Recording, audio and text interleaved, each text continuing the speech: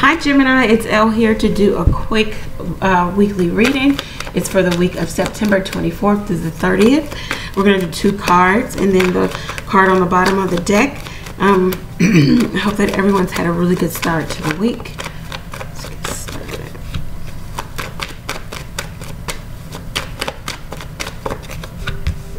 Okay, bottom of the deck, Queen of Cups. Um, this did come out when I was shuffling for you. This is um, emotional contentment. This is um, the mother, the loving person, the open person, uh, Cancer, Pisces, Scorpio, Cancer in particular. The person that's willing and, and able to give their cup of emotion, wanting to invest emotionally. It's about the giving and the receiving of love here, the wheel of fortune and judgment. All right, so what this says is that what is destined to be or to happen is a second chance, a try, a do over. Now, for some of you, this is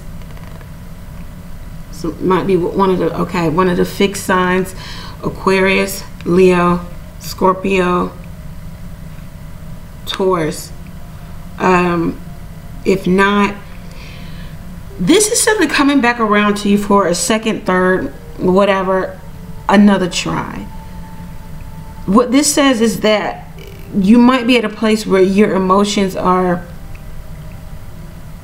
you might be overly emotional. If this were the king of cups you'd be in complete control. You might be borderline overly emotional about this situation or someone else. Um, you need to judge it righteously uh, with a new set of eyes.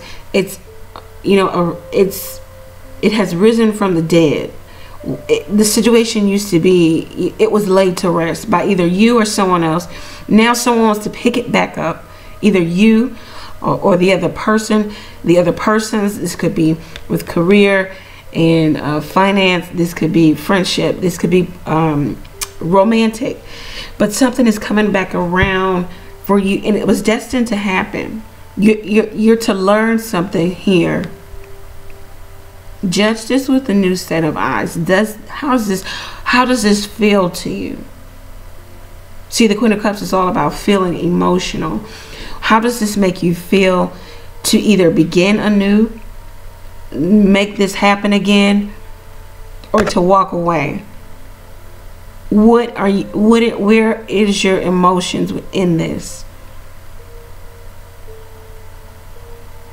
Mixed and married with logical and practical fixed